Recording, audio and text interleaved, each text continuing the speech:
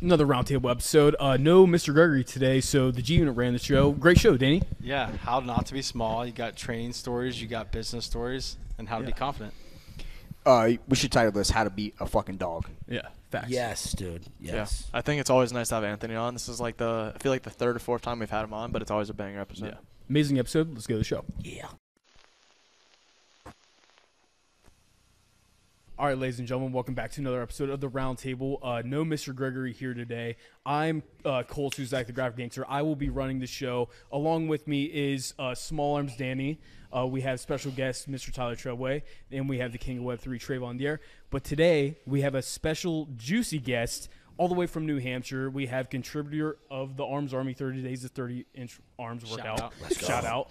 Uh, trigger warning conjugate. Uh, stay hated owner, Mr. Anthony Oliveira. How we doing, boys? What's up? What's up? I'm excited to be here. Thanks for having me. You're welcome. I was like, when uh, Cory's like, I'm gone Monday to Monday. And I'm like, fuck, dude. Like, I'm gonna miss him. And I'm like, hey, Danny. Like, hey, Cole. you guys still want a podcast? Like, we're gonna bullshit anyway. Trying to Like, hang we out, might as yeah. well record it. well, we know like every time you're on here, it's just like a juicy ass conversation. you stop calling me juicy. You just called me lean before, which is a nice way of calling me small. I'm still mad about Well, that. dude, I will say like I'm gonna hold on to that. Other ways to say all, small. all, all I'm saying is I just see the trap sticking out of the shirt and like I just like I want it's like an automatic. I want him to be offensive. Mm. I told I told the guys in my group, I'm like, all right, here's the deal. It's a good place to start. We, I, I'm like, here's the fucking deal. People kind of know who I am, right? But like the guys in my group, they're not as well known, and they're just kind of getting. I was like, I want to show up to the WPO with y'all there, and I want everyone to be like, what the fuck is that? Let's get. I want everyone here to be so fucking jacked that they're like, I'm the shortest guy in my group besides the 18 year old. I look like, and I love that. Uh-huh. They're all just like monsters. They're all so big. So I'm like, I, I need to get super jacked. So you guys have to get more jackter. And we- like, and it'll be like, it'll be sick because I want to be like aesthetically, like I want to walk into meets with my group and people like shit their fucking pants yeah. which we're getting closer. I got a new kid with us. It's like uh, he's like two, he's like 6'2", 290. He's like a SWAT guy. He's fucking huge. Um, and he just got into multiply, and I just love having big dudes like that around. Like I want to be the sm- I want to be the smallest guy. You're like the jacked version of that like Teenage Mutant Ninja Turtle meme with like Master Splinter in the middle. Dude, bring it. Ninja Dude, bring it. Fuck yeah, dude. I'll take that all are, day. so are you like telling your guys to wear like a you know like size down on their t-shirts? No, no, we go the other. No, we go the other way. Oh, you size So up? I want the the thing is like I want people to be able to see your traps when you have a hoodie on. nice. That's the goal. That's a good Because goal, it's like you could take a dude who wears a small T-shirt and put him in an extra small, and he looks jacked. I want a dude who looks jacked, even though he's wearing two sizes too big. Hmm.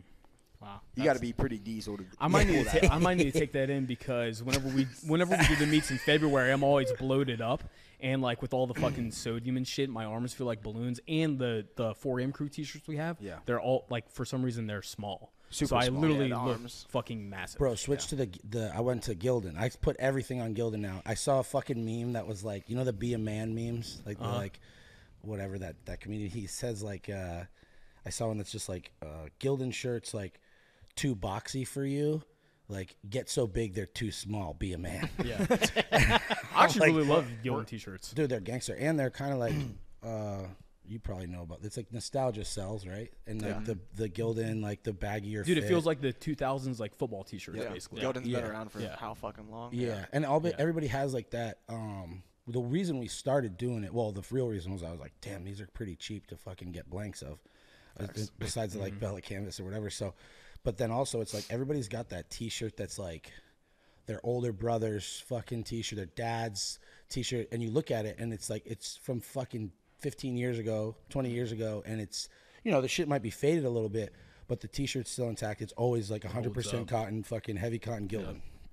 It doesn't And they stretch barely out. shrink, too. That- yeah, and it doesn't stretch out either. Like I can, like with the Bella Canvas, like squatting and shit or benching, like put your traps down, you push, you get loser neck. You know what I mean? Like, you and so uh, the Gildans always like go back to normal, and the Bella Canvas don't. We're gonna have to put a sub note on the arms army. Yeah. We'd say always size down, but just get so big that you fit into your shirt. That's what Yeah. I'm saying. Grow, grow, Yeah. like, give yourself, give yourself like uh, a goal. You know, like you like, like, dude, we have this one kid though that's in the group that's very, uh, uh, how can I say this? He's uh, he's worried about it. He wants to look good. Like he's he's worried about it, right? And so he always he'll buy two t-shirts every drop that I do. He'll dro- he'll buy an XL and a large, and he'll take the large and he'll cut the sleeves off, and it's like his, Yes. his deadlift shirt or whatever. And I'm Nice. like, the fuck out of here. I'm like, dude, it used to be a medium and a large, and we're like, dude, you're 220 pounds, you can't be wearing a medium. 220 pounds. That's fucking crazy. Holy Yeah. That's insane. I'm like, tall dude, is he? two. T- yeah, he's probably like five eleven. He's pretty lean. He's got like a small waist, and I'm like, dude, you look jacked, but you also look like you're like trying to look jacked. Like, it's like just wear a bigger shirt. So we, we got him. Uh, he he asked me to hold him a shirt off a drop, and I intentionally held an XL instead of a large, and I gave it to him, and he's like, my wife actually. She likes. She said she likes this look better. I'm like, yeah, dude. Everyone on the planet. yeah. And so it began. yeah. yeah. So, So- now we're transitioning. All right, with- all right. So let's talk about your crew. Like, how many guys are you training with, and like, what's your training schedule look like? So we have. So when we first got out there, did I come back here since? Did I do one of these? Yeah, I went and then I came back, right? Because we did the like the goodbye one, and then Yep. yeah. So, uh, we had like, it started with just me and Val and this kid Josh. We call him Rambo. Um, and he's like an OG. Like he, I, he was the first kid that I trained when I started working in gyms. Like he was the first. He was like fucking thirteen or some shit. I've known him for years, and um, and so it was just us three. And then we brought we brought in one kid, and it didn't work out. He's you know whatever. It's not even worth getting into. And then we've kind of slowly built it. So now it's like it's uh, me, Val, Josh, which is Rambo, his brother Sean, who's like uh, he played uh, lacrosse in college and did some like not semi-pro but like high-end like men's league shit. He's an Gotcha. athlete. He's built like a centaur. He's all ass and legs, no, no, no shoulders. You know. Yeah. Uh, so we're working on that. But he's like really, really good. Uh, really, really uh, athletic. And then um, who else? We, and then Connor, who's another WPO guy, Connor Boyle. He he's like a two, he's like two thirty, and he's got like a like an eight fifty squat, like a four seventy bench, and pulls pulls like seven fifty. Like he's got a good deadlift. So we're working on the other ones, and then um, uh, who else? We have an eighteen year old. Uh, we call him Spandy. His name's Andrew. We call him Spandy because he's in single ply. So single ply Okay. Andrew, and then it kind of turned to Spandy. At first, I don't think he liked it. Yeah. But so, so he's he's Spandy, and that's like how I introduce him to people now. So he's 18 years old. He's a 148, and he his wow. best Oh, numbers are yeah. He's a little guy, but like I mean, when he showed up, he was like a 123. Like he had never powerlifted before. Gotcha. And so we got him into single ply stuff. He's just not quite like his bones aren't big enough to be in multiply. I can't imagine putting him in like a canvas. Like it's too much, right? So uh, his best number is at 148 at 18 years old, a 402 squat, 220 bench, and like a 360 deadlift. In single ply, it's pretty good. Um, it's like a he, he didn't put all of them together. He kind of fucked his, his deadlift kind of got fucked up at nationals, but he's got like a mid 900 uh, total. If he can break a thousand in the next year, it'll put him top 10 all time for teen Oh, shit. um, which is cool. That those small single ply records, once you get out of teen, are insane because it's all those Russians. Oh. So like the 148 single ply squat world record is like fucking like 770 or something. It's like fucking. It's like something Yeah, stupid. yeah. It's so big, and uh, it's like some 40 year old Russian that's been on here for 25 years or whatever, you know. And so. uh yeah, but he's really good. And then, um, oh yeah, and then Corey is like the new guy who we kind of brought in, and um, we train Monday, Wednesday, Friday in the evening, and then Sundays in the like late morning. Basically, like the standard conjugate split. Yeah. So we deadlift on Monday, bench on Wednesday, squat Friday, and then our secondary bench is on Sunday. Fuck yeah. It's good. We have like a good. Uh, so I just trained with night crew out here last night um, at Doghouse, and it's really interesting to see the difference, like in what, like, the vibe for that shit versus the vibe for ours, and what I've taken from the crew out here and brought it there, and what I've left here. You know what I mean? Yeah. Um, and so that was really cool, and it was like kind of refreshing. And Dave's helped what's a lot. what what's like the one thing that sticks out? Like what what did you notice? You're like ah. Well, out here, the guys are a little more self-sufficient with like their weight selections Okay. because they have more skin in the game. They have more time. I'd say like the average ability level is higher in the night crew in Ohio, um, and definitely like the training age is is definitely like older. Yeah. Um, so my guys, I just had to like have like a rage moment on them a few weeks ago because I'm like, I can't call every one of your fucking weights. You have to figure out, you know, because out here, like I train with these dudes for so long and they're so with it. Um, like we could train, like you know, we've never benched together, right? But I know that like. If we started benching together, like I go plate, and then I look at it, I go quarter, and I'm looking, and I could just guess, like, oh, you want dime five or you want a two plate, like, you know, Yeah. just because I know, right? And a lot of these guys haven't either haven't trained in a group or haven't been doing it for long enough. So I had to like I had this moment where like we had two or three people free squatting, and then like four of us on another mono box squatting, and then Val was squatting in another one. And I took the biggest weight all night and wrapped every fucking knee and called every weight and I just like I lost it. I was like, guys, like Yeah. and they don't mean anything. They want to do good. They want the reason they're mm-hmm. asking is because they want to do the right thing, right? Mm-hmm. But it's like I'm sure it's like if somebody if a new guy comes in with the 4 a.m. stuff, it's like they're Yeah. kind of like, what do I do? What, what like, what's the workup? Like, are we using what is what does two double choke minis be, mean? Like, you know, they don't know, and so they're really cool. They were wicked receptive about it. I'm like, bros, like I coach people all day.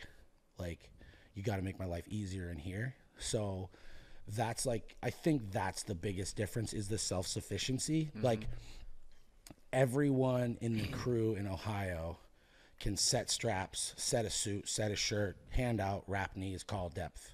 Yep. Everybody can do it. So we're working towards that. And the guys are awesome about it. Mm-hmm. It's Yeah. interesting you bring that up because like it's stuff that like we've picked up like just from like so Cole and I have been around it's it's me, you and Todd who have been around Cory the longest. And but Zach. like Zach's and, been- and Zach. But all four of us plus G could call every single person in Yeah. here's and, and, and Trey too, like we could all tell what everybody's gonna take for the next week. Yeah. Like we know like all right, double blacks, one squat, this, this, you know, whatever variation we're gonna do.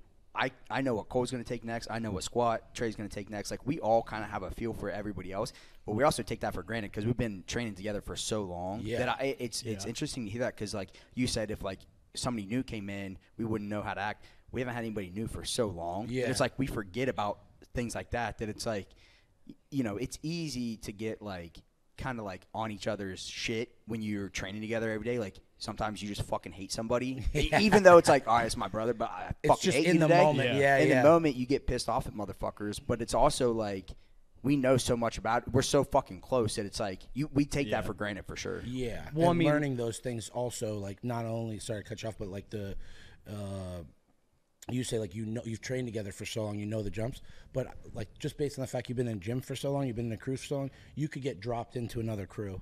Yeah. And you know what a like hard bench press looks like and Yeah. what they're gonna go to next. Yeah. At least like within the realm, right? And these dudes just didn't really know that. Well, I mean, even thinking like if you're if you're the new one going into a situation like this where you're dependent on always asking someone else, there comes a time where like you basically have to try to figure shit out on your own. Yeah. Yeah. So you have to pick up that like you know Tredway if he needs help like I don't, I'm not going to ask him. I'm just going to go do it and try to figure it out and hopefully I fucking do it right. You know what I mean? Mm-hmm. Like I I'm not going to ask Tredway. Oh Tredway, how do you want your bench lift off every time? I'm just going to go do it. Or who's next in the rotation? I'm just going to figure it out. the rotation fuck thing is fucking that's part of it too, bro. Hey, that, that that part never gets fucking better. my though. my Yeah. guy, like I just like that shit never gets better. I had a couple moments where like you know like our our uh our bathroom at the gym is kind of like even in the old place it's kind of like out the door around the corner type of thing it's not like in the gym like this one mm-hmm. is so there were times where it was like all right i gotta take a piss before i put my briefs on i go take a piss and i come back and everybody's standing there like waiting to take their next set because they wanted me to watch every set and i'm like my guys like what what are we doing? this ain't fuck's it. sake. Yeah. This ain't it. You know what I'm saying?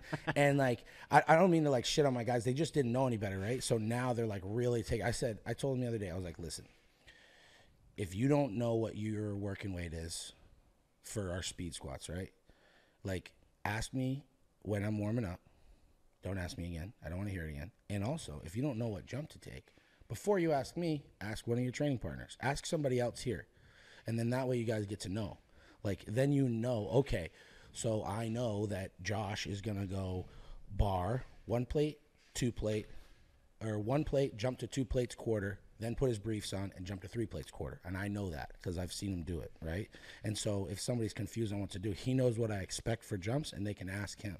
So Josh and Val have kind of become like the the separators from the kind of they, they kind of filter out like the questions right because mm-hmm. we've got guys that start going to them first or like if i'm like like dude if i'm hanging in my briefs and i'm trying to fucking put my briefs like i don't want to answer your fucking questions i want to be left alone for a minute i'm trying to lift weights so uh, th- they've noticed like when when is a good time, when is not a good time, and not to be. I bet you this happens to Cory a lot. Maybe not so much with you guys now because you've been with him for so long, but it's like everybody kind of wants their moment with me, right? And I don't mean to sound like like narcissistic or egotistical, but they all want like that they want to they want their personal relationship with me to be something different than the next guy and they want to have their little conversation with me. And that's cool and i get it. I was with that with dave for a long time like these little side convos that i want like so our relationship is different. Um it just like takes a minute to get past that where it's like dude i'm here i'm your friend we're good like fucking ask somebody else what you you know what i mean? Like and so and they've been awesome about it. We've just had a few like come to jesus talks where i'm like all right guys like I, i'm i'm fucking right now i'm like 16 weeks out from the wpo so i'm not like fully on edge but like i'm getting there.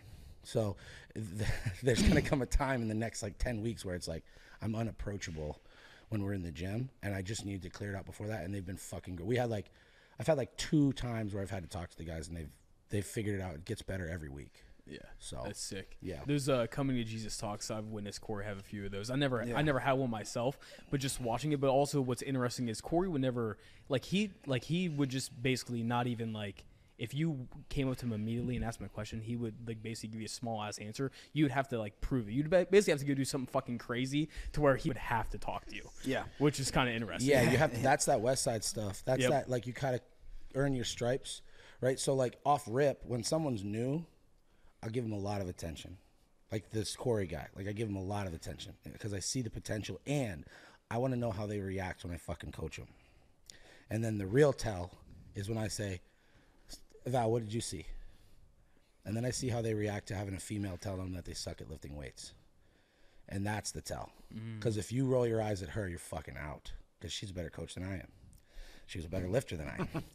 like, you know what I'm saying? So some guys have a hard time with that, and you can figure it out like that. So I, I'll take a newer guy to the group. I'll give him a ton of attention. I'll be up his ass, like micromanaging him and being like, dude, you're gonna suck at this for a long time. So I'm gonna try and break every bad habit you have right now. And then over time, I like then you back off. Then they got to do something cool to, to tell me that they're like once we get them to a base level, then it's they have to do the cool thing or they don't fucking you know what I'm saying. Like I tell my guys like you pay a gym membership here until you do something cool. Once you do something cool, I'll fuck you don't have to pay a gym membership. But like it- and cool to me is gonna be something pretty sick because I've seen a lot of shit. like, so you have to Yeah. do something wild, and it's the same thing with like getting a night crew shirt. Like the only people in our group right now that have night crew shirts are me, Val, and Josh. And that's how it's gonna stay until somebody does something that I think is, and it doesn't have to be something in the gym. Like it could be something out of the gym that shows that they have extreme loyalty to the group, or that they showed like integrity in a situation. Because to me it's more important like show up have a good attitude don't be a piece of shit. One of the dudes we had to get rid of like it's like bro i'm not here to i'm, I'm, not here to hear about how you're cheating on your wife. Like you get, get the fuck out like anybody who's got that chaos outside of the outside of the gym i don't mm-hmm. want it like you have to be in my group you got to have a job and like I don't care. Like, dude, someone want to be wild, single dude, and fucking chase tail and get all. I get it, but like, you're not gonna be in my group and be a scumbag. So mm-hmm. that's part of it too, because like, my life is chill. I don't have drama, so I'm not gonna have somebody in my group that brings that shit because all of a sudden I'm getting messages from your wife. Where is he at? And I'm not dealing with that. We're not going. I'm almost 38. We're not going back It's, a, it's, a, re- it's like a representative of you as well. Absolutely. That's the other thing too is that uh, actually like this is a really cool story. We were just out in Utah uh, for APF Nationals, and Spandy um, First of all, he shows up. He's got a mullet. He's got blonde Oh, hair, but yes. now he's got a fucking cornrows. Shout now. out, Hell Spandy. yeah. Yeah, he's got, he got Wait, cornrows. he's 148 and has a has a cornrows. Yeah, Hell dude, he's Spandy? legit, and Like, he, that's sick. And Yeah. he shows Shout up out in like a fucking green, black, and pink Nike windsuit. Like, yeah. my man's, my man's, yeah. my man's got drip. Like he's he's the sickest. Yeah, He's like walking. He's like walking through the tunnel for the game. Exactly, basically. he's the sickest. I need to meet so this guy. he he went he went uh, he went what was it five for six in the first. It three for three on squats, two for three on bench. He's having a great day. The judging there was very ticky tacky. Whatever. I didn't think that it was the most consistent. It was pretty tough. So gets to deadlifts and he kind of got. I think on his first deadlift they made a bad call. They called him for up down. I didn't think it was up down. We had him retake it. And then he got, and then he hitched it because he was he was fucking tired. We're 2,000, 4,000 feet above sea level, whatever and you see it on his face like he he like he's mad he's upset and uh and i'm standing next i forget who i'm standing next to i'm standing next to one of my guys and he goes don't do that like quietly to me he's like don't you fucking do that and i guess he caught eyes with val in the like spandy did and val went like this shake their hand like went like this shake their hands like lipped it to him and his face just totally changed shook all the judges hands and got off and then in private he was like fuck those guys you know whatever had his Yeah. moment and I told him after he was like so upset that he like he's 18, dude. This was his first big meet. He's only been powerlifting for a year.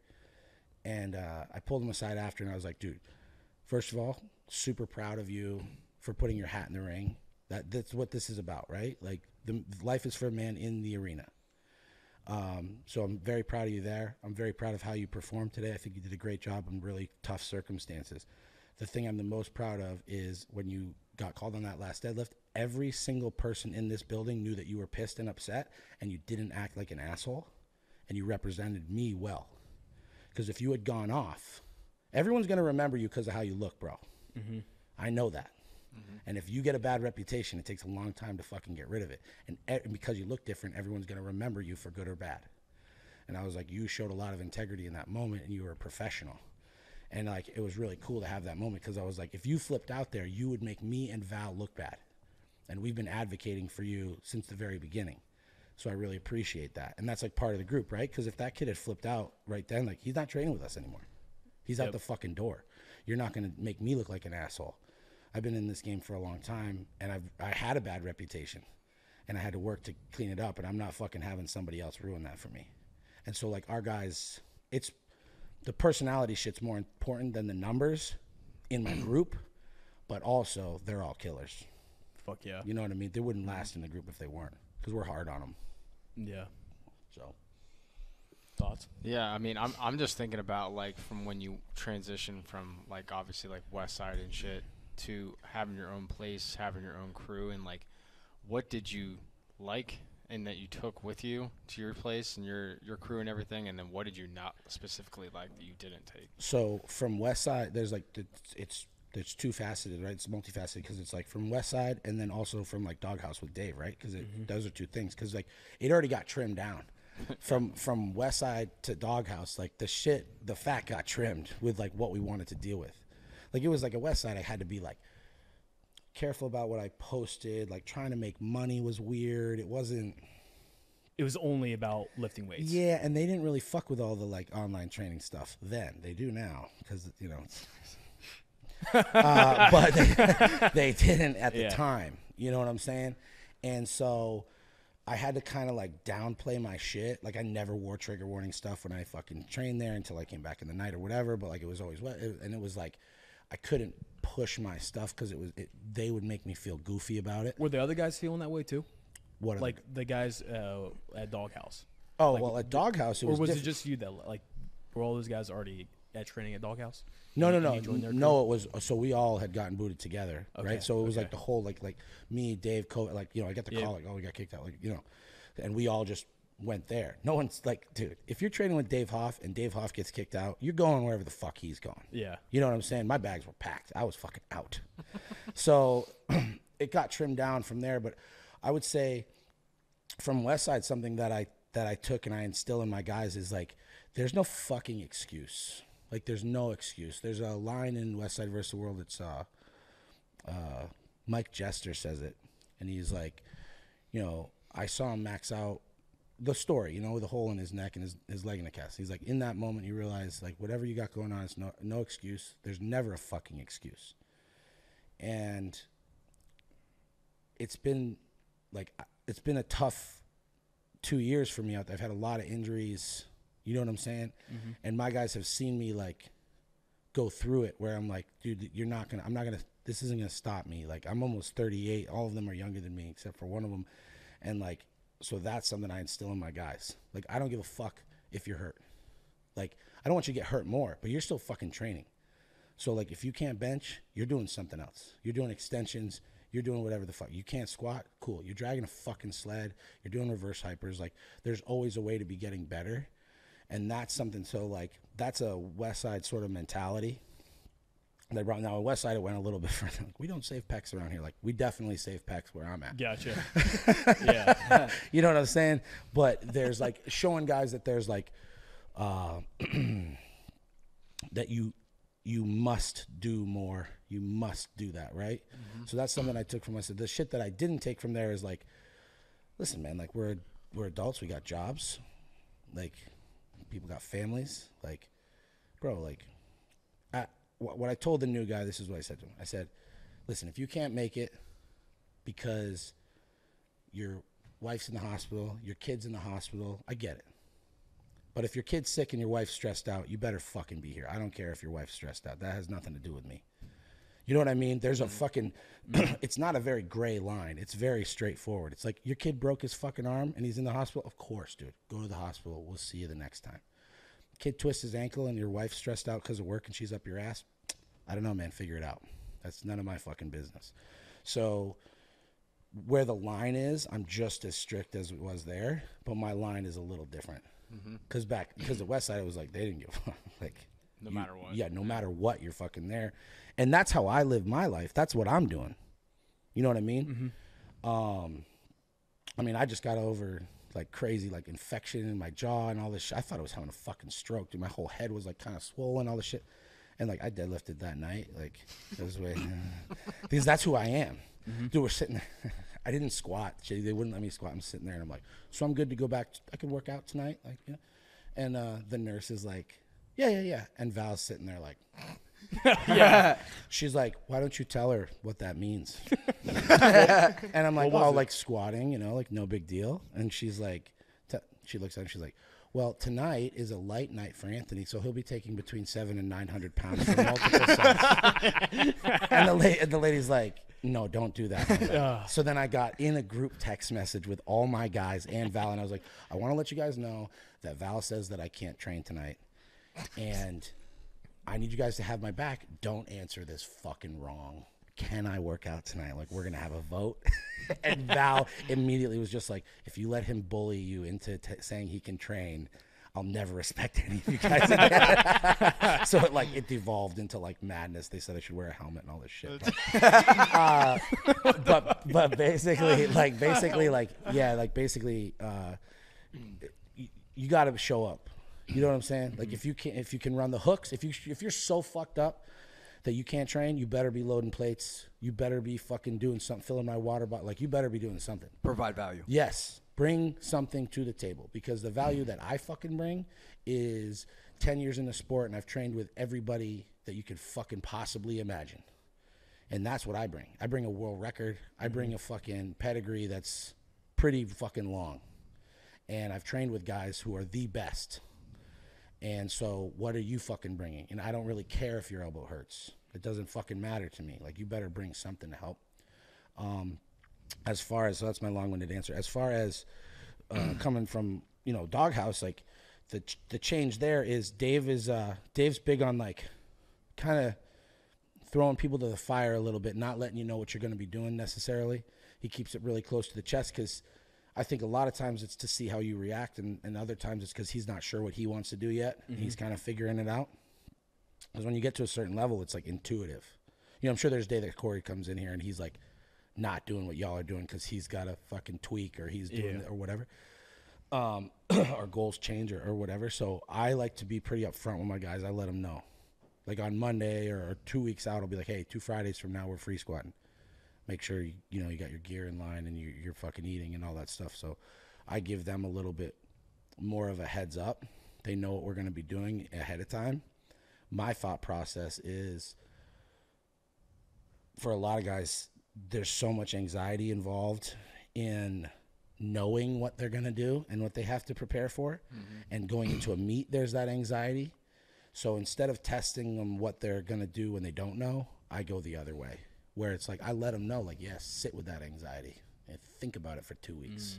And then if they don't fucking perform, then it's like what? It's the like what the fuck? fuck. then, then, yeah. yeah, then It's they all know. mental then. Yeah, so Yep. so you I, that's like one of the the differences between the two because I think that everybody's got a different coaching style, you know, and so my coaching style, Dave Dave has really been helpful with how I address these guys and how I work with these guys and whatever. So I just take stuff that he has done for me and I try to do it with them. Like I, he gave me, Dave gave me just this fucking unwavering belief in myself. Like he just, he convinced me that I had more in the tank when Lou said I had nothing left. So I try to do that with my guys. You know, I'll just like say shit, be like, yeah, man, you can squat a thousand. You just haven't yet. You will though. You know, you can do that. And I try to like give them the confidence mm-hmm. because they haven't been around somebody. Because at first it's all shock and awe. They're looking at me Yeah. like, oh my goodness, like this guy's fucking strong. And it's like, yo, you can do that too. You just haven't yet Yeah. and I try to like pump them up that way, as opposed to going the other way. Like Lou would go the other way. Lou would tell you you're not going to do shit to try to get the bulldog out of you. Mm-hmm. You know that I respond well to that, but most guys don't. So I'm still feeling out who can take the heat and who can't. most of them can't. I got like some pretty sensitive. I don't mean sensitive in a bad way, but they're they're nice dudes. These guys are they're nice kids. You know, they're mm-hmm. they're they're nice people. So Well, it's not one size fits all. yeah, and so I try. So one of them, you know, Corey, I can give him a little more shit. We battle a little bit more on deadlifts, and we'll talk shit to each other. He's a military guy. He's a SWAT guy. He's 290 pounds. You know what I mean? Like he's not fucking intimidated. So like me and him can bark at each other. Mm-hmm. Some of the other guys, they need more of like a pat on the butt, as opposed to a kick in the ass Yeah. and that's a and and that distinction I think is important to make. You can't treat everyone the same, like what you said. One size mm-hmm. doesn't fit all, especially with coaching and especially with this sport. Like sometimes, you know, like Josh at his last meet, he pulled six ninety nine point something because it's a kilo meet. Yeah. So that's my bad. I called for that. I, I we should have gone 704 uh, list or 705, like whatever, right? 699. They had rounded up the last decimal, so it said seven. I should have known better. So with him, he's a pretty like um, he takes everything to heart. So I'm I'm pretty good to him that way, and he's a good friend of mine. But uh, he's doing reverse hypers, and they like I mean they were fucking they weren't full reps, so it's like that's the one time I've really given it to him where I was just like, hey bro, that looks like a 699 deadlift sort of fucking reverse hyper. Like I don't know, man. For me, I'd want a fucking like 750 type of reverse hyper, but if you want to do 699, you can fucking keep doing it that way. I And can he was see- like, "Well, it would have been if you Yeah. could." yeah, count." yeah. So so that that pushed him a little bit, and just figuring out how to get the most out of everybody. Mm-hmm. Like I want to squeeze because I think that Louie got the most he could out of me, and the most he could get out of me was twenty three sixty four, or twenty three fifty. That was the most he could get from me. Mm-hmm. And but you know, two meets later, I totaled twenty five. So in his way, he got the best. He squeezed all the juice out, right? And for me, I'm trying to figure out how to get people to a point where it's like there is no end. I can keep getting more from them and I can keep building them up because I'm on the tail end of my career. I'm on the backside, dude. I'm fucking almost 38. I probably got another five, six years of this, whatever. So I want to make sure that when I'm fucking step out from the competitive role and I step more into a coaching role, that I've got dudes around that are fucking seasoned and they are motherfuckers to compete against. Like I want them to be the bad motherfuckers that can step in and like carry the legacy. Yeah. That's sick. You talk about like uh, being prepared and letting your guys know what happens. I, I always like we found out that we just fucking compete better whenever we have like two weeks basically notice to go compete.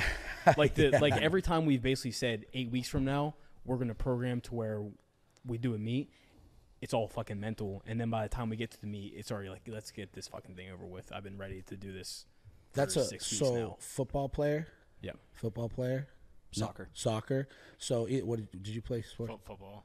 What did you do? Soccer. Soccer. So it's like those are uh, reactive sports, right? Like they're. So what I found is like you're in the moment. You have to react in the moment. Those guys are better at like the quick, like the the quick turnaround. Now, if you're uh, if you're a goalie in hockey, you're better at the slow buildup because you have to sit there and wait and think about it the whole fucking time. so if you're a place kicker, you probably do better with a 12 week prep.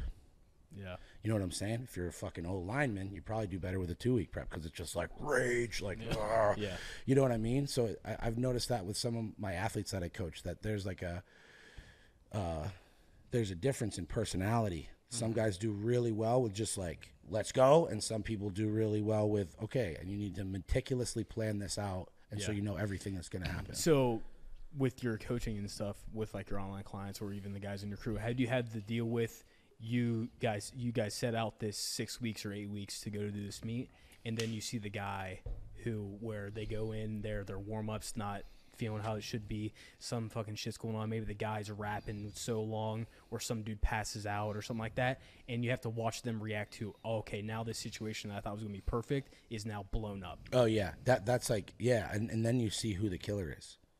Then you can fucking s- like then you see like all right, man, we, no fucking options. We're here. You're not gonna not do it, right? Like you're gonna do it, right? So that uh, thanks for the alley oop on the story here. So we're out in Utah, and uh, that's sneaky. Yeah. So uh, so we're out in Utah, and and Josh um takes his last warm up to a one board. I'm like press, press. He doesn't press. And I'm like, yo, we pull it off. I'm like, are you okay? And he's like, I'm like, what the fucking happened? He's like, I passed out. And I was like, Jesus Christ. So he had cut like 11 pounds. The altitude's crazy. It was hot as fuck. And I'm like, all right, like, you okay? He says, yeah. I'm like, he's like, what should I do? I'm like, what do you want to do? Like, have you ever passed out before?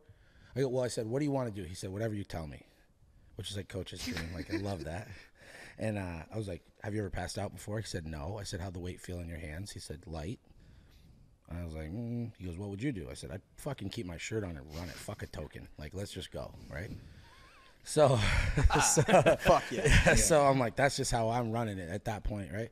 So we go out, first one, brings it down, kind of like bobbles it. Now I brought my own side spotters for this because I I wanted people on the sides that knew what he looked like when he benches normally, so we could save him if something happened.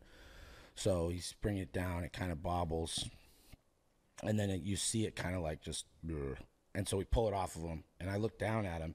His eyes are wide open. He's out, and he's just, and I'm like, Josh, hey, are you with me? Hey, buddy. He goes, I don't know. And then I go, hey, are you here? And he goes, Jesus Christ. And then he comes back too, and we stand him up, and we're like, all right. And I look at him like, you're going to take another one, right? like, I had already looked at the table and been like, yeah, run it again, you know? And uh, so, so, so he's like, yeah. So he loosens, loosen his shirt up and then have them take like a fucking nasty ammonia hit beforehand. Like to like, let's fucking go, right? So it works to wake people up. Maybe it worked to not let you go to sleep in the first place. So, so I don't know if that's right or not or Yeah. whatever. So he comes down. Now his mom and dad are there. His mom's a fucking uh, an ER nurse, so she's tripping. And we know that you know people pass out all the time. Shit happens, but you know like it is kind of scary. And so he takes the second one down, and I'm watching. I'm counting him down like three inches, two inch one. He's getting close. He gets the press command. Bah! He comes up and then he kind of like bobbles it forward, and we take it from him. So I didn't know this, but he was out. He passed out after. He didn't even remember hearing the press command. He told me afterwards that he didn't hear a press command all day. He was out by the time he was getting a press command. So he had just like instinctively been like, and then like, you know, dumped it. So we take it, and uh, so fucking funny. I'm like, all right, let's go. I mean, now we know you can press it, so just do it right, and you're fine. And then the last one, he brings it down, and like this, you know, the like, the slow dump, like in a bench shirt, you'll see someone. Like, Yeah. So he like slow windmilled, like he came down and was just like, brr, like this thing, and uh, so he fucking pulled the bar up. I'm like, hey, are you okay? And he's again eyes open, out cold, and starts to like kind of like have a Yeah, kibby. twitch. And uh, his mom runs on the platform, pulls his legs up, you know, to like get the blood back in, and we stand him up and everything. And uh, this, I'm getting back to your question about like when the circumstances are not great. And uh, so like he just worst. so he bombed right. So he bombed at nationals. The first time he's traveled for a meet, his fucking family was there. He traveled cross country for this, and he's like so upset, you know. And he's just like, oh man, I feel like I let you down, and I feel like you know, I'm like, dude, first of all, you did not let me down. He's like, I just, you know, I feel like a pussy and da da. I'm like, no, listen, dude, you would have let me down if when you passed out in the warm up room, you said, I'm out, I'm not even trying. You fucking passed out under trying to bench a weight four times. You're a fucking savage. What are you talking about? Yeah. I was like, bro, and I'm like, this is just what happens, right? So then I looked at him and I was just like, the the hard part about this is that in our sport, you're gonna have to work your ass off for six months to maybe do better than you did today. Yep. You don't get to just turn around and, and like it's not like football or hockey or whatever, where it's like you got another play coming. Mm-hmm. In a minute, you can show people that that was a fucking mistake, and I'm better than that, right? You have to now. You got to wait like six months to do that, and I was like, that's the bummer. The good thing is now we get to see how you respond, mm-hmm. and that is the opportunity that we have right now, mm-hmm. is to see how you fucking respond, and you can see him like he would have gone and trained right then. He was like fired up in that moment, you know. And like he was texting me today. He's like, "Am I allowed?" This was a week ago. He's like, "Am I allowed to drag a sled today?" Because I was like, "You're not working out for a week. You're fucking just like eat and sleep and whatever." Yeah. See, he's already like you know he dragged a sled last night and he's back into it. But you see what somebody's made of in that moment, mm-hmm. and you can see if somebody is. Listen, man, like you don't have to be willing to die to do this. Like I don't believe in that. You don't have to be. That's how I am. But you that's you don't have to be that way. But seeing like that somebody's got that dog is fucking sick. And now I know that like for sure the sky is the limit with that kid because I watched it happen. Yeah. you can't replicate that except for it's like you can't gain experience without having these experiences. There's no like shortcut for that. There's no uh the, what is I was reading a book the other day it said it's like there's no uh there's no like algorithmic system uh to shorten like experience or something like that. So there's no cheat to get the experience. So now he has that and now we get to watch him grow from it. for sure. How much? know. How much was? How much was the bar weight in his hands? 402. So nothing like crazy, but like nothing I mean, we're lucky he didn't fucking break his Yeah, arm. for, you're lucky. You just didn't fucking. Yeah, so we're just you know, it, and Yeah. hey, like, and he had squatted 777 and had just missed like 820 Yeah. at 220. So, you know, he had been through and he cut 11 pounds or whatever. So he, you know, he's a pretty good lifter. Like he's gonna be great.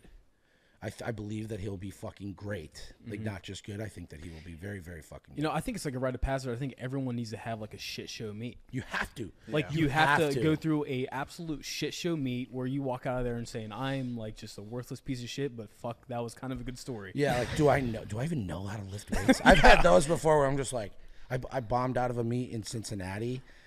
Lou said that we were gonna. Um, he thought I was gonna break the world record at 42, and uh, I bombed. So the record would have been 1160, and I bombed out with 1047. Missed it three times. So I had to drive from Cincinnati to New Hampshire that night. That was the plan. And I remember just like driving, just being like, "Do I even like what am I even doing? Like, do I even know how to fucking lift a weight? Like, Yeah. You fucking pussy, like you idiot, like what are you doing? You're ruining your life for no reason.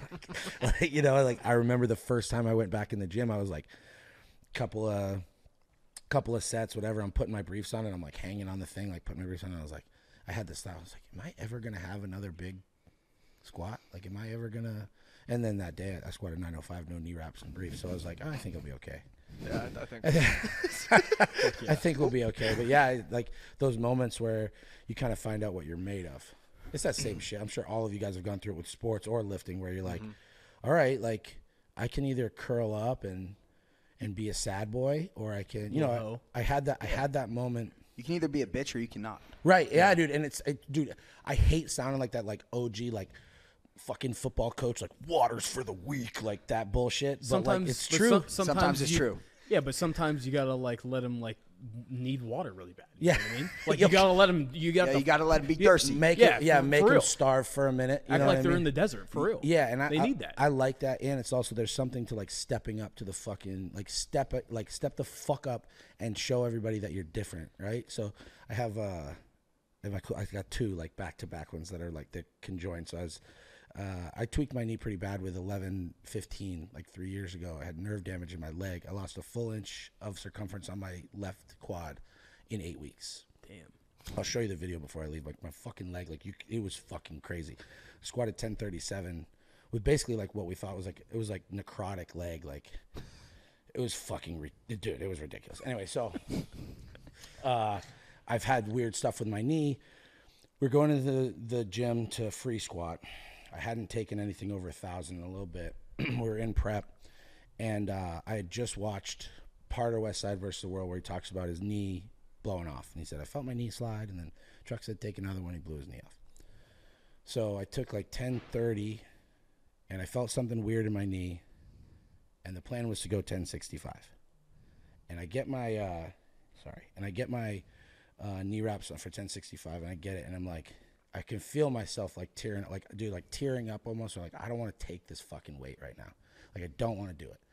But I have to because if I don't then I don't get to be the guy. Like I can't have my guys load up 1065 and then me not take it. I have to or I'm not different. I'm the fucking same. And I'm different. So fuck this. And I did it, and it felt really good, right? I had that moment of like, mm-hmm. Yeah, motherfucker, you're not gonna like. The point of doing this is because it's scary. You don't ride a motorcycle because it's safe. You ride a mm. motorcycle because it's scary and it's wild, and that's and it's the same thing with this shit. Like I don't squat four digits because, like my squats don't have commas on them because I'm, I don't like scary shit. I like scary shit. That's the point of it, right? So you have to go to it.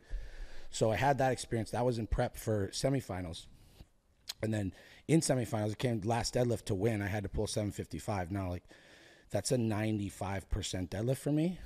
And it was a quick day. I, like, I, I didn't know if I could get it. And you start giving yourself excuses. You know how, like, you'll sit there and you'll be like, you know, you're playing sports. There's like two minutes left. It's like, well, we did make it to the finals.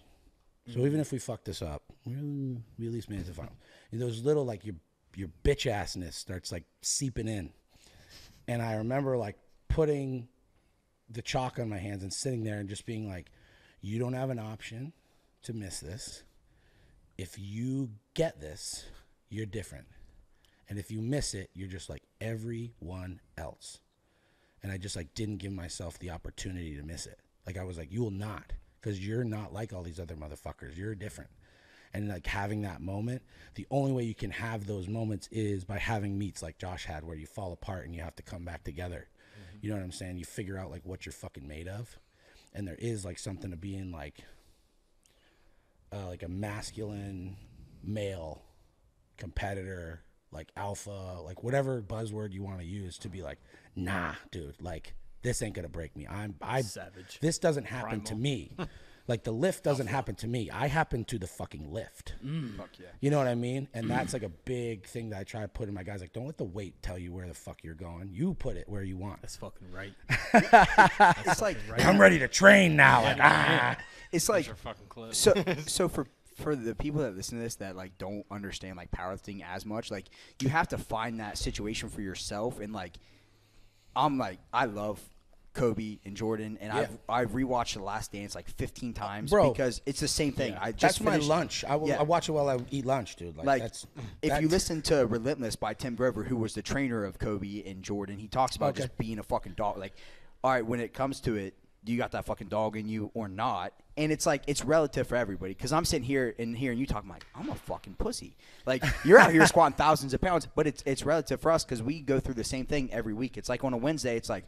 Well, I it's four o'clock in the morning. I went to bed at fucking eleven thirty. I'm tired. I don't fucking feel good. But that motherfucker thinks he's gonna beat me, and I promise you, he's fucking not. I love that. And it's like he probably is thinking nothing like that in his head, but it's like I'm gonna fucking kill you today. yeah, don't you think that that's part of business too? Like with Which what I, y'all I was about here? to say Yeah, in business, like, dude, it, like anytime you have to put your it, just in life, anytime you have to put yourself out there, you have to have the self talk of like, mm-hmm. I am a fucking dog. Yeah. Basically. I- like if you're yes. if you're pitching yourself to like work with someone, you can't go onto this business call and pitch your proposal acting like a little hoe, Exactly. thinking like, oh, what if they, they don't accept it? No, motherfucker, you go in there saying they will accept it, and this is what I'm gonna fucking do. Mm-hmm. because I'm good at what I do. I'm confident. Like Yep. I like that. It took a long time for me. I used to always qualify everything I said. Be like, listen, now I'm not the best at this, but I know a few things. And now I'm like, nah, I'm one of the best in the fucking world, motherfucker. That's why they're coming to you. test me.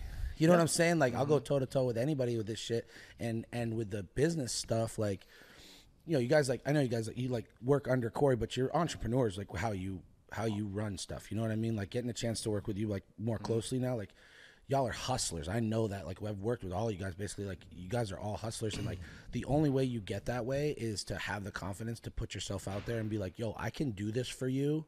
Like, like we started talking about the website stuff, the emails, and everything. Like you, got, you just like hit me with it. Like, "Yo, I can do this for you. This is what's gonna fucking happen. This is what we're gonna do." And like we're gonna make it happen for you, and I and I'm confident in that, right? And it's all worked out. It's been mm-hmm. fucking great. However, that does not. I'm not hiring you guys to do that or asking you guys to help me do that if you don't have the confidence, mm-hmm. right? In showing me like th- there's there's so many parallels with business and fucking lifting weights.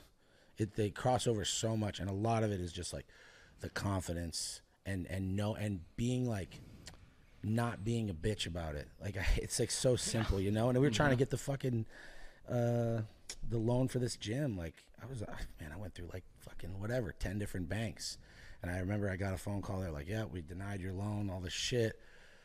I called my mom. I'm like, I don't know what I'm gonna do. Like, oh, this fucking thing. It's a shit show. Like all this stuff, right? And I allowed myself like five minutes to be a whiny little fucking pussy wet blanket. Yeah. And then I was like, nope, no one can fucking save you. Like, you either figure this, like, there's no, like, no one else is desperate to make this work.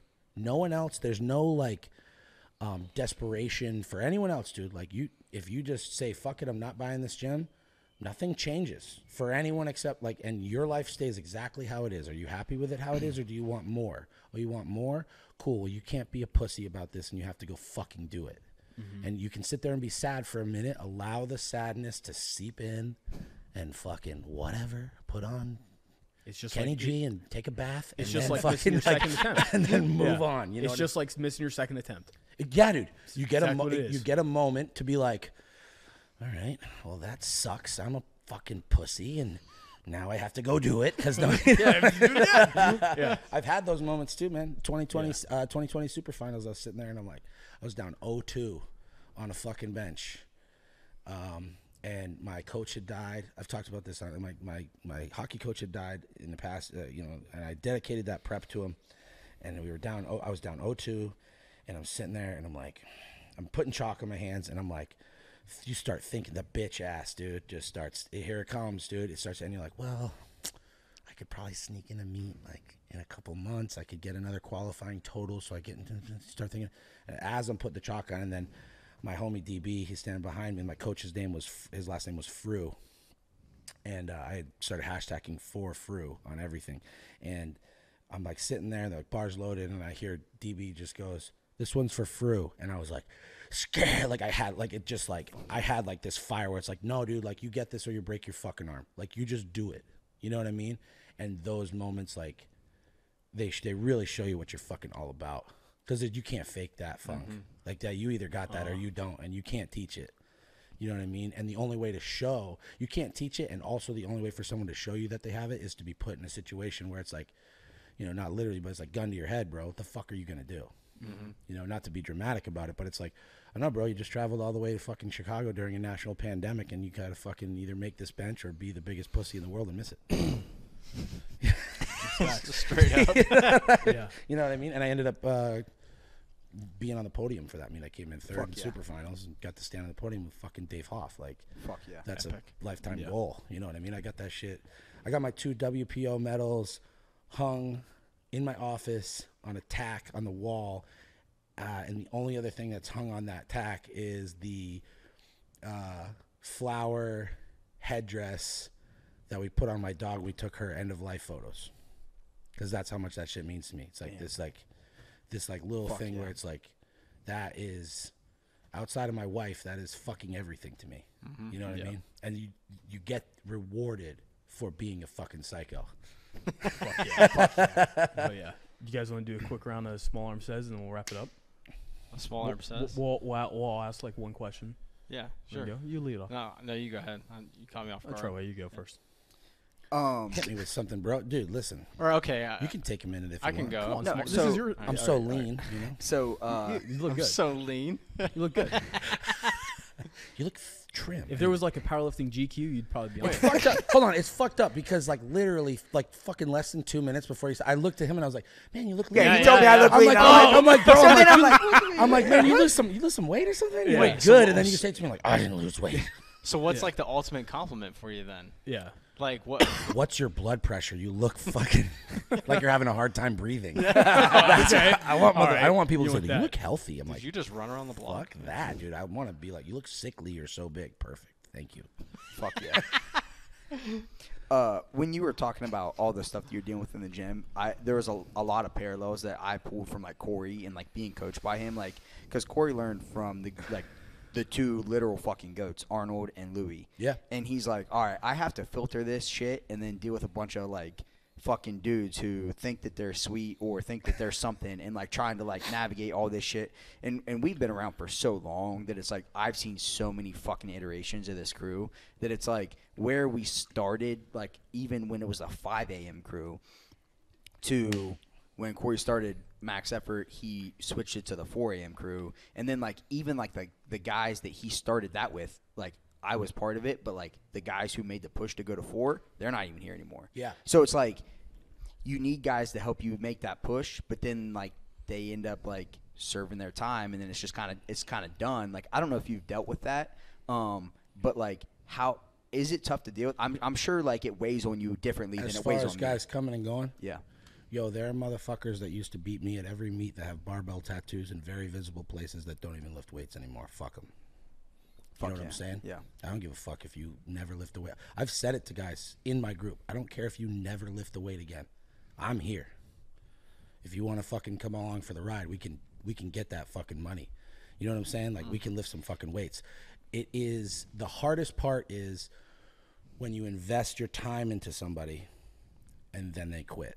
And that's why I'm very careful with who I invest my time in because it's a uh, you know, me and Cory have talked about it. It's weird because Cory and I are very different type of people and very similar, you know, and we've had very similar experiences too.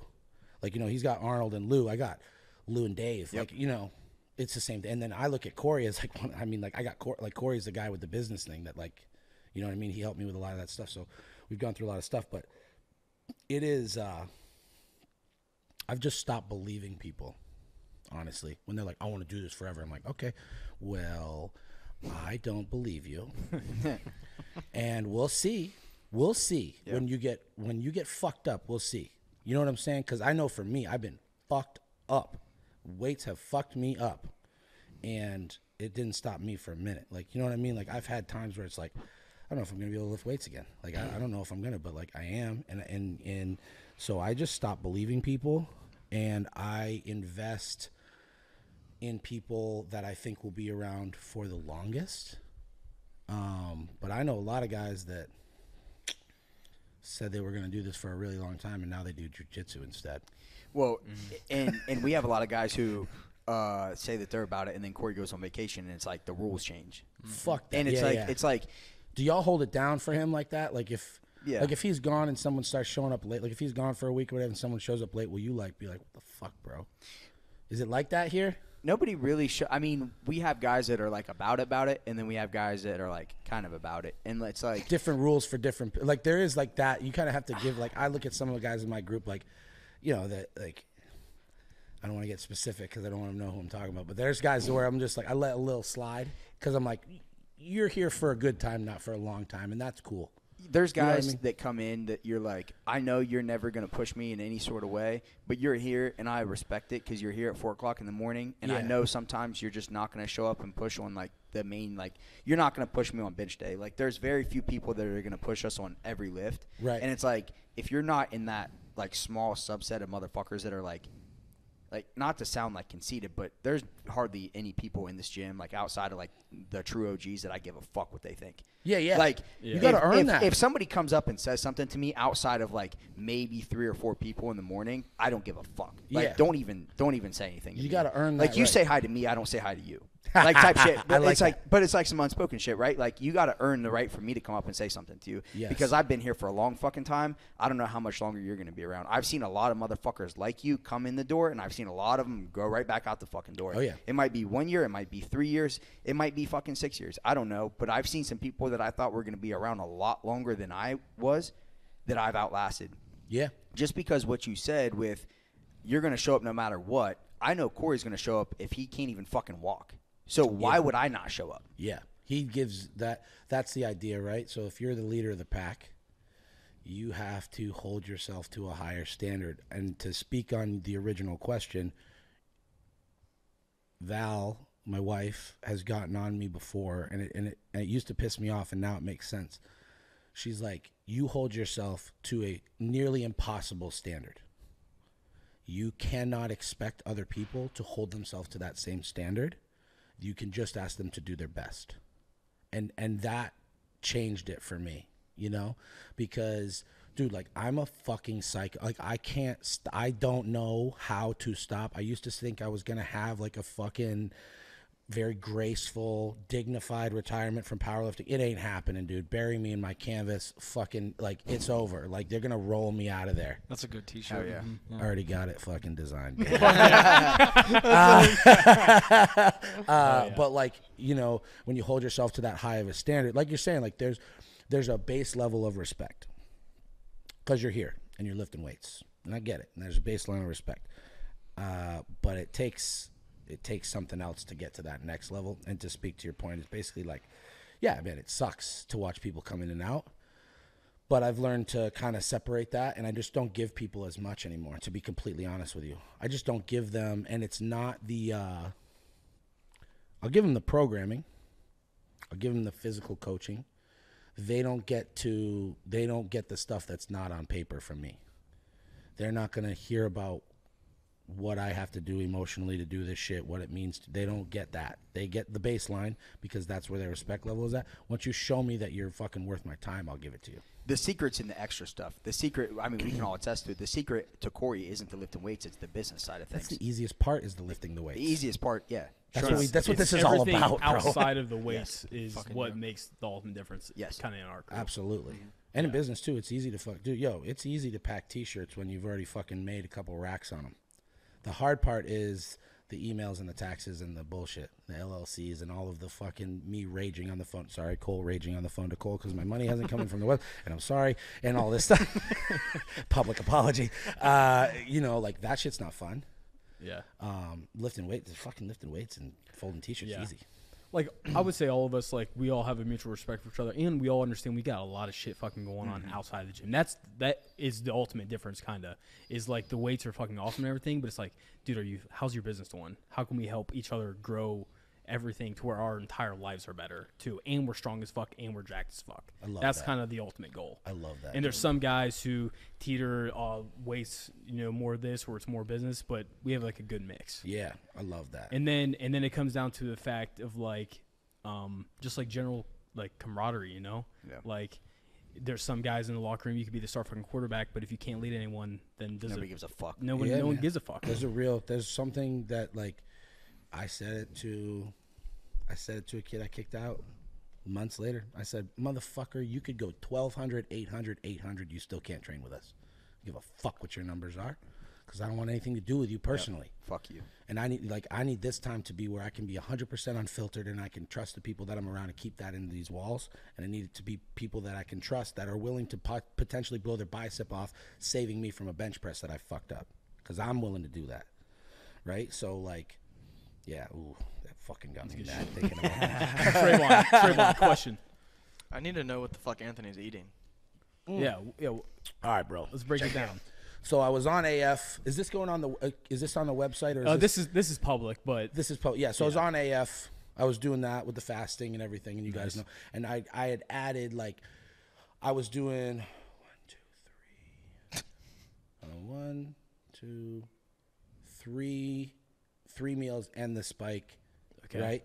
So and my meals were basically how I was doing the meals was like big pile of carbs, big pile of meat, every sauce, Yeah, whatever, yeah. right? Um, but I had like added in some stuff. So like when I would break my fast, I would do like, bro, you know what all dressed chips are? All dressed. All dressed. So it's like a, they're Humpty Dumptys. They're a cross between. They're cro- yeah. bro, bro, are you kidding? I'm gonna have to ship you guys out. Some. Okay. Uh, dude, this is the this is the most anabolic thing you can eat besides Okay. waffles. All right, so I was on some shit. 14 Okay. waffles a week minimum. So uh, Nice. two a night. Yeah. Oh, okay. Yeah. that's You're gonna eat yeah. one waffle. Yeah. So uh, Sausage, yeah. Chocolate chips in there or what? no, plain Oh, butter, okay. Kerrygold butter, and Oh, fucking Kerrygold sugar. butter on wet. waffles. cheapest fucking syrup you can get. Give me the sugar. So Gangster. uh, that log cabin shit. That should be a shirt. all, all cabins wet. So, so, uh, So wet. so, but yeah, I would do all dressed chips, which is basically like a cross between like salt and vinegar, sour cream, and barbecue, like on one chip. They're that's fucking lit. Dude, they're so good. wet. And dunk them in French onion dip. Wait, Oh. Hell yeah. Is this like native to where in New Hampshire I or some think shit? Humpty Dumpty is a New England. Is that what they're thing. actually Oh, called? they're Humpty literally- Dumpty is they're the brand. called It's like that? Lay's. You know what Oh, I'm saying? gotcha. I thought you I wasn't calling called them that. myself Humpty Dumpty. thought Although I'd rather be called that than lean. so uh, yeah, so I would I would, I would break I would break my The most yoked Humpty yeah, Dumpty ex- ever. Yeah, look at that, dude. That should be a That's t-shirt. double entendre. You need to get that designed up. so so I would break my fast with that. So I would have like a, a thing of like sweet tea or iced tea with like a bag of chips and dip, and that's what I would like. That's how I break my fast, and then I would have my meals, right? Okay. Fuck yeah. I couldn't put on weight. I couldn't keep the weight on with the fasting and shit. It, it worked for my lifestyle, but it, I, you know, I couldn't do it. Yeah. So um, it was easier out here because I wasn't as busy. So that second meal, I wasn't eating in a gym. I could eat it at my house. Gotcha. So um, I started doing. I basically wake up in the morning. I have my wife is a gangster. She does all my food for me. I don't have to fucking do anything. She does the dishes. She does the food. She's the best. She's fucking. I can't say it Shout enough. out. Shout out. So uh, y'all should have her on a podcast at some point. amazing. Next Sure. time we're out here. Now it's. I talked to her about it this time. Now it's been said and recorded. We got to have her out here. She's fucking awesome. Anyway, so and she's a badass lifter. So she she makes me. I get three packets of oatmeal. Uh, with like she adds like chocolate chips and walnuts to it and all this bullshit. Uh, protein shake. Uh, and like BCAs. Then I'll go and work out. Uh, work at the gym for a few hours. Come back and then I have like, uh, like some sort of meat rice sauce. I've been really big on like getting like the pre-made like sweet and sour like Chinese food sauce, and I'll get like she'll like use the air fryer and make some like air fried chicken nuggets, Fuck yeah. fucking pineapple, green pepper, rice, all in a bowl with the fucking sweet and sour yeah, sauce on that's a protein money. shake, whatever, and then my pre-workout, anything from like another meal like that. Sometimes I do. um you guys don't have it out here. Ellio's Pizza. They're these frozen pizzas. They come in a rectangle box, and there's allegedly nine slices. there's three slices. Okay. So they're like Little bitch slices. they're they're Yeah. they're rect the rectangle pizzas like you got at school. So I Yeah. have Oh, okay. Uh, two of those yeah. with a protein shake, you know, pre workout, and then I'll have like before your workout. yeah before workout, yeah, and then uh, during workout I'll have a, a shake this it. is I have a I have a apple before I eat before I work out, and two scoops of carb blend. So that's another like 50 grams of carbs, and um, and then like Sour Patch Kids during, and then uh, afterwards like protein shake, another meal of just like meat and whatever, and then uh, two waffles, fucking protein shake. Go to bed. yeah. I have a just delicious sweet snack before I go to bed. We don't call it a spike. Nightcap. We'll, we'll be like, "What are we having a sweet snack tonight?" Like, yeah, we're having a sweet snack. So I'll have like ice cream or, or whatever, and it's hard for me to keep weight on. So I just try to like Interesting. smash the food as much as I can, and then on the weekends I basically just like eat like an unsupervised twelve year old, like whatever I want. so yeah. that's basically my diet. I if I clean it up at all, even if I like when I went from ground beef to chicken, I lost five pounds like that, dude. Like I have to have the fats. I have to eat. Like it's I have a hard time consuming food. Like my stomach got fucked up a few years ago, and so I have a hard time getting food in. So I have to eat shit that tastes good because I just won't eat. I'll literally sit there and be like, Nah, I ain't eating that, and you know what I mean. So uh, I have to eat stuff that tastes good to me, and I know that sounds fucking soft as shit, but it just is what it is. you know what I mean? But yeah, I eat pretty. I eat pretty well. I'd say for a power lifter, I eat like 70-30. 70% clean, 30% absolute garbage bullshit.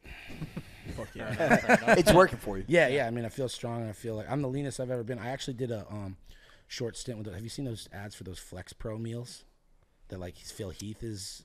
Uh, putting Oh out? yeah, yeah, yeah. It's a subscription prep meal Okay. thing. Don't fu- dude. Like so, they were really good for like a week, two weeks.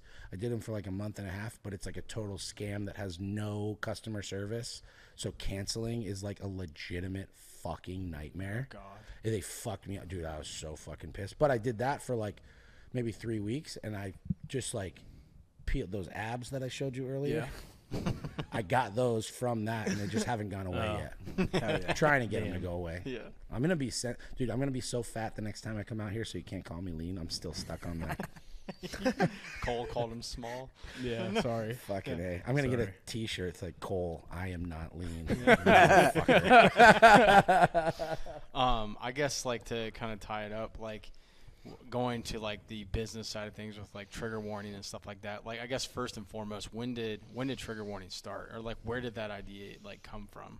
Uh, yeah. So, uh, the name was from one of my clients who was like this super liberal, like feminist, and she thought it was hilarious, like the trigger warning. So the wording was like so funny that it, it came from that person. But she's awesome. Her name's Jackie. So, uh, yeah, and um, it's 2015 maybe Okay. 2016. And it was just a way to make some money. Um, when I moved to Ohio, I had uh, what's whatever. I was making two two fifty a month on training people online. They were paying me fifty bucks a month. Fucking Cash App, Facebook private group, trying to like somehow thinking I could hide that money. The, the government doesn't know what Cash App is. and uh, you know, that the T-shirts came along because uh, I, I hit up my buddy who I was in like hardcore bands with and stuff, and I was like, "Hey, like, can you make me? A, I want a logo for this. The Stay Hated shit on the back in Varsity. I want something on the front that has like either a chain on it or something. I was like, I don't want a fucking tiger or a lion. I don't want a plate. I like I don't want like the corny standard shit. I want something that looks like mm-hmm. it could be a 2005 like beatdown hardcore band. And he came with the globe. It was the first thing he brought. I was like, perfect. So we we made my buddy Richie made like 15 of them at like one of those like the mall like kiosk places, right? Nice. For just for my lifters sends me one of them. I take a picture in my fucking living room, my one bedroom apartment in Hilliard, Ohio, like this, like fuck the world, right? I had just got my neck tattooed. I, I was like looking, you know, and uh, dude, and people went fucking crazy. They're like, "Can we get those?" So I did a pre-order. We sold 84 of them, or 83 of them, and uh, dude, I was like, comment, like, don't comment until you've paid. Mess, listen. So, so I was like, message me uh, with a screen cap of the money that you sent to my PayPal, and tell me what size you want, and give me your address. So I, dude, my phone just went fucking bananas, dude. I'm just like sitting there, like sweating, like, sweating. and Val is like, ta- I'm like reading stuff. Val's taking it, writing it down. She wrote down every fucking order, every size. We counted them. I did. I put in the orders. We fucking, dude, so stupid. We hand wrote the addresses they were going to on every single fucking bag Yeah, you hated your life. and I oh, hated my life. And then I brought it to the fucking post office, and they're like, "We have to print labels for all of these." So I just sat there, and like, dude, it was fucking insane, dude. And I told, I told my buddy, I told my buddy who who uh, he owns Norse Fitness. And he was like, "Dude, you're a fucking idiot! Like, thi- you made this so hard on yourself. like, what are you it, fucking doing?"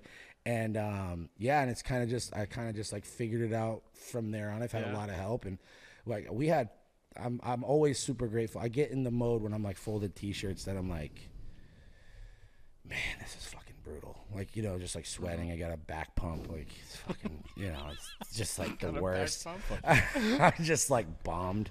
And then I think about it, and I'm just like really grateful that I have the opportunity because I remember we were so fucking broke that we didn't know how we were going to pay rent. Rent was due in like four days.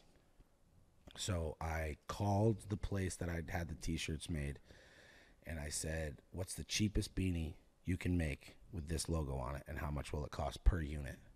and when are the price breaks? Because I know there's going to be a price break on quantity. Told me all of it. I got a flat, no depth, like mock up, uh-huh. quote unquote, of a beanie, like a hat that said stated on the front of it.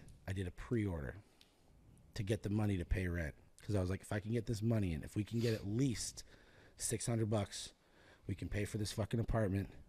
We can get 600 bucks in five days, and then we can figure out the rest from there. Because by the time these people are expecting these hats, this money is gonna be gone. So I better have another job set up so I can fucking pay for the hats to be made and then ship them and da da da da.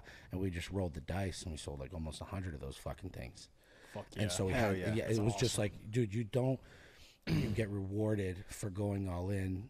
I, I know you guys are trying to wrap up. I gotta tell this. We we No. we uh, I was listening to a Rogan podcast, and uh, Tom Segura was on it. His new stand up is fucking Mm-hmm. He's fucking crazy. awesome. He's so funny. Um, so, but he was talking about how when they first started, they would be doing so like, let's say we were both comedians, right? And um, I'm doing like these little spots where I'm getting paid 50 bucks for the spot, right? And and you have a full-time job also. So you just keep doing those and there are these other ones that we could do a little more for. You have to travel for, maybe they're 100 bucks a spot. You can't do them because you have that other job. I start doing them. Right? And then because of that, 5 years later or however long later, I'm getting offered you know, opera houses and, and bigger venues and stuff like mm-hmm. that. And now you want to do that. Well, motherfucker, it's been five years and you stayed with that other job and you didn't burn the boats. You didn't dive in. I've been living in a one bedroom apartment eating fucking ground turkey and broccoli and, and microwave rice for fucking five years. And that's why I get this other thing and that's how I felt about Trigger. It was so crazy because I was like, man, I feel that because you, what you see now is you got guys who've been sitting there on the internet saying that fucking they, they've been saying that the internet and social media is fucking stupid for the past five mm-hmm. years, and now all of a sudden they want they want to sell coaching, they want to mm-hmm. sell T-shirts. It's like motherfucker, you missed that boat. Mm-hmm. You were too busy with your nine to five. You didn't have the balls to go all in. I did. I fucking rolled the dice on me and my wife's livelihood. And that's why I get this and you don't. So when did you feel like you kind of hit like really hit a stride, or what do you would you identify as like a pivotal point to where There's like you went to that? There's been levels, right? mm-hmm. I think we just hit one recently, right? Like I think that was 100%. like a I sure. think It was a we're, huge level we're up. in the middle of like a big step, right? Um I think when I had the balls to I think a big step was was doing like having, you know, you guys started doing some content for me, like filming the Mental Mondays used to come out for that and we did some of that stuff. I think that was a level up. But I think when, when I really did it was when I was, there was a moment I was supposed to, I was driving Uber part time and doing this stuff. I had, I had already left the construction gig. I was driving Uber part time and I was uh, doing the coaching stuff. And the Uber was, I was probably making like, like 200 bucks a week or something like that on Uber, just fucking around. And I was supposed to drive on this Saturday morning. I was like, I'm to get up early. I'm to drive for like three or four hours uh, make some money. And I just said, fuck it. I'm just actually to go to this meet and I'm just to go and hang out at this meet. Like I got a couple buddies doing it in over in Grove City. And on my way, I had done a t-shirt drop like the night before or something like that. Yeah, because it was Friday. And on my way, I sold like six or seven t-shirts. I got the notification, right? So it's a couple hundred bucks. And I'm like, I'm not driving Uber anymore. Fuck this. Like, and then I was just like that. Those ti that time that I spent driving Uber could be much better if I was learning how to write better programming, mm-hmm. looking at marketing stuff, listening to to smart podcasts, doing getting better at lifting weights by doing my mobility at home so that my weights got bigger so more people watched me so more people found my brand. And th- that was like a big moment for me. It was like, fuck this. I literally in the car canceled my Uber, like the driver app. I was like, yeah. nah, I'm fucking done with this. So there's been a couple different ones, but it all comes down to like to circle back something we said earlier. It's just like the confident, like the unwavering confidence in yourself to be like, nah, dude, I'm gonna make this work. And at this point, I could never go back. I can't imagine having a job where I had to punch in. We've all, that, all, yeah. all four of us have, have done that. Yeah. Like, like just go all in on yourself. and now you've been rewarded for that, right? Mm-hmm. Like I'm sure you got, I, I know it, right? Like you guys got, how old are you guys? How, 23.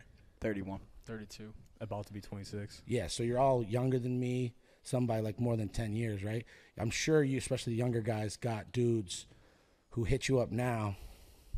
They thought you were crazy, right? They thought that you were fucking wasting your time, and now they want a piece. And it's like, yeah, dude, I bet you Cory would hire you to sweep the fucking gym.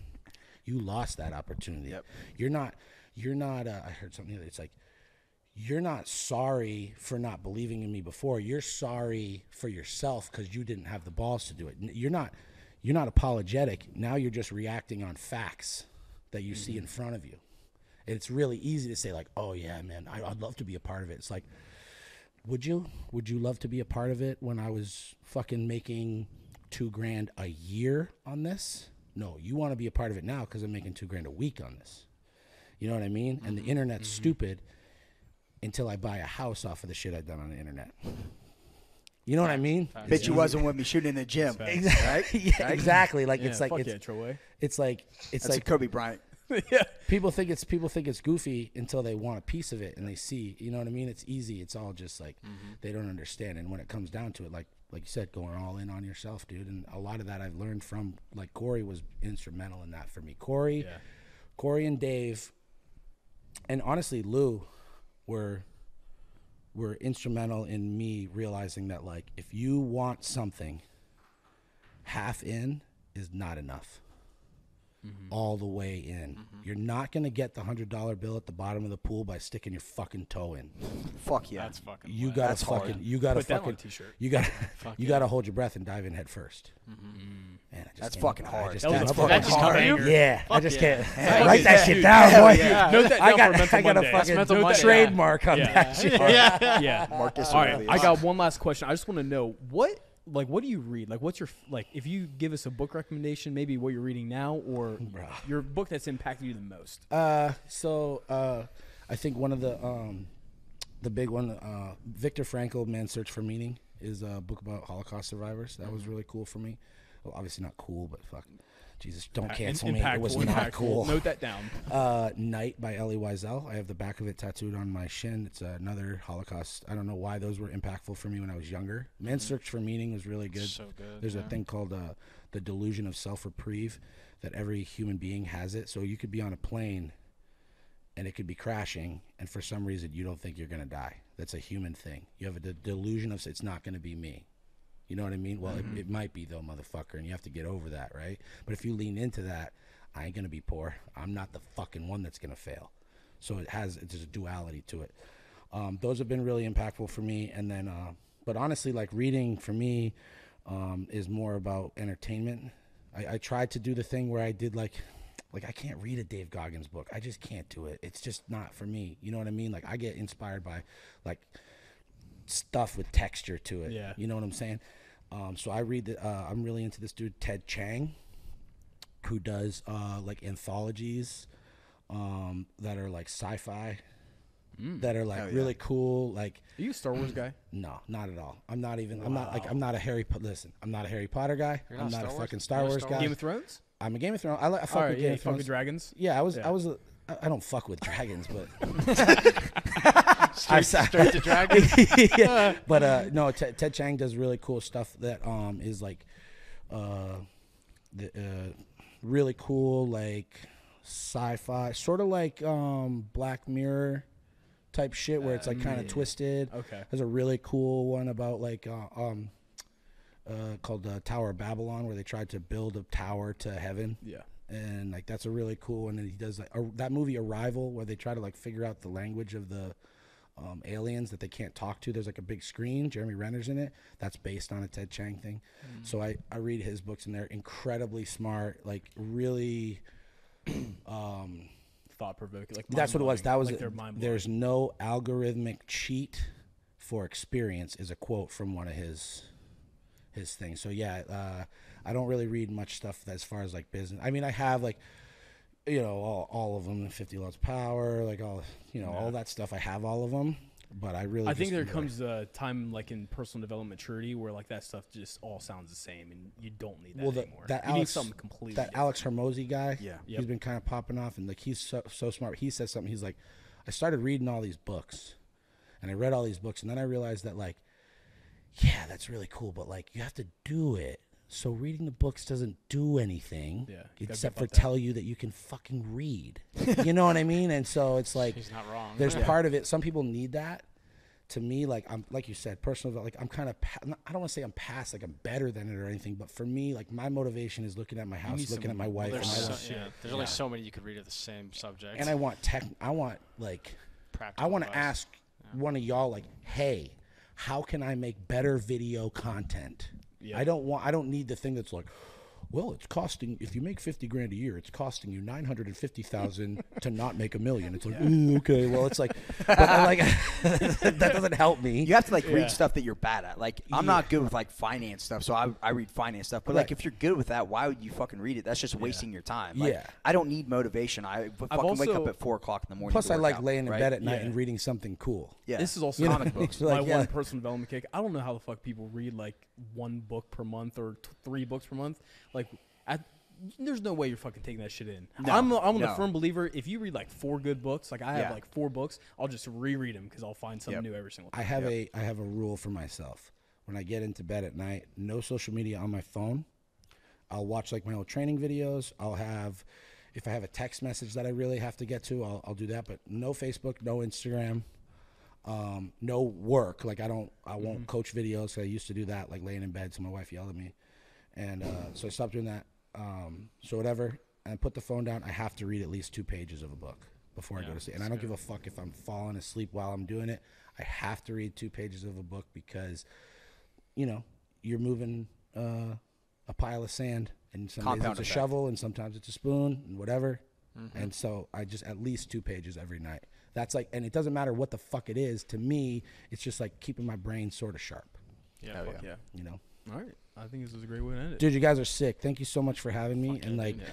anybody who's watching this, like for real, like if you've made it this far, you obviously mm-hmm. fuck with this content. And if this is gonna be out to the public and shit, like spend the money, get on Cory's app, like follow all these dudes, like Listen to it's his in- other episode it's too. in, it's Yeah. it's invaluable information that what you guys do. I'm always so I hate the word inspired, but I'm always so inspired when I come out here because you guys are just fucking killers. And so like I always go back to New Hampshire. Or when I was living here, I'd go back to Hilliard and be like. Yo, man, I'm I'm listening to fucking Jeezy the whole ride home and being like, yeah, let's get that money. See, well, I, I always feel the most inspired after we talk to you. That's how it works. Yeah. It's like minded, right? Yep. It's like minded. So I appreciate you guys having So me. what, like, what's your handles? Like, plug all the shit. Yeah, so uh, Anthony CW13 is my um my personal. The CW is Cold Words. It's an old band. Everybody asks me anyway. So Anthony CW13. The trigger warning page is uh, trigger underscore warning underscore conjugate. If you hashtag stay hated, like look for that. Um, and then I have a Patreon page. It's a, a subscription based website. It's very similar to what Cory's going on. I've kind of modeled my my brand kind of after a lot of stuff that he's done. Um, and then we're doing. Uh, these dudes have helped me put together a new website for. Um, it's got content and it has all the apparel shit, so you can kind of one stop shop there. And uh, there's an email um, list there that you can get on that we've been doing free fucking uh, conjugate programming from there. You get a free month, and then we just put out a, uh muscle building like uh, off season powerlifter stuff. We're gonna keep putting out content. I got some some stuff in the works. We're gonna talk about off camera that. It's definitely worth. It feels scammy for me. Say sign up for this email list. It's not. it's not It's scammy. You can unsubscribe very easy, Yeah. and it doesn't cost you any money. And all your motherfuckers always tell me you want to. Well, yeah, and you want to know New what the f- product drops. Yeah. yeah, you you owe it, so you don't have to send me the fucking angry DM. You wrote an Excel. You know it's what? like, well, If motherfucker, everybody on the email list got their Excel. If you subscribe to it, you might just look lean like you. you know? I'm so upset. all right, roundtable. Roundtable. We're out. Hell yeah.